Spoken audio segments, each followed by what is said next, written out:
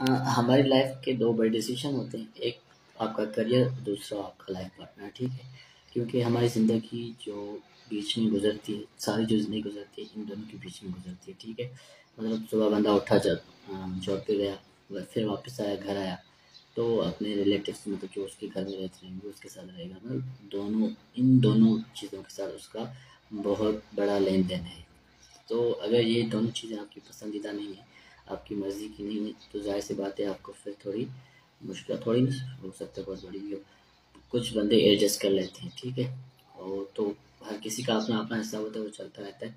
तो कोशिश करें कि ये दोनों डिसीज़न जो है, सोच समझ के लें और किसी और को हेल्प में ना दें, आप करें, ठीक है? कम से कम हो सकता है गलत हो गलत हो आपके डिसीज़न भी गलत हो सकते हैं, ठीक है? तो आप चेंज भी कर सकते हो उसे, ऐसा भी नहीं है, ठीक है?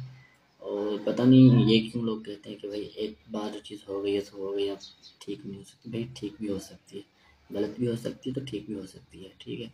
सो कोशिश करें कि ये कम से कम ये दोनों लाइफ के अपने जो बड़े डिसीज़न है, वो खुद लें, वरना डिस्टर्ब रहेगा, ठीक है?